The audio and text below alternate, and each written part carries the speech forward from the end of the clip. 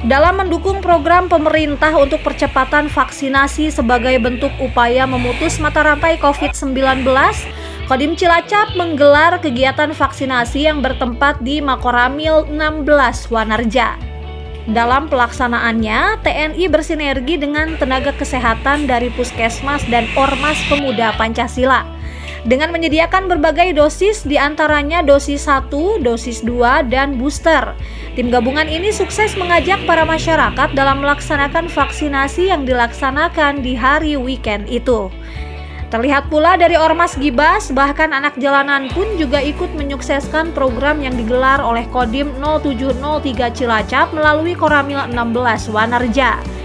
Menjelang pelaksanaan, para babinsa dari Koramil 16 Wanareja mengadakan woro-woro di setiap masing-masing desa binaannya agar masyarakat mengikuti pelayanan vaksinasi. Dari hasil giat tersebut, sebanyak 510 dosis berhasil divaksinkan kepada masyarakat melalui tim vaksinator Puskesmas 1.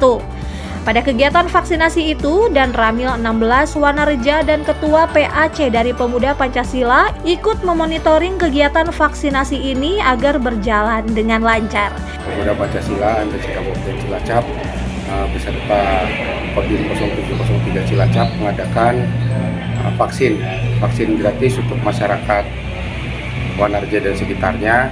Tentunya acara pada hari ini adalah salah satu uh, program dari suksesnya vaksinasi terutama di Kabupaten Cilacap karena kita ketahui bahwa sekarang pandemi juga masih berjalan dengan harapan dengan semakin banyak masyarakat yang sudah divaksin hingga ke depan pandemi yang sekarang kita hadapi bisa menjadi endemi dengan harapan kita bisa berdampingan hidup dengan COVID-19. Tentu pada seluruh masyarakat jangan takut divaksin, ayo divaksin karena vaksin salah satu cara untuk uh, memutus mata rantai COVID-19.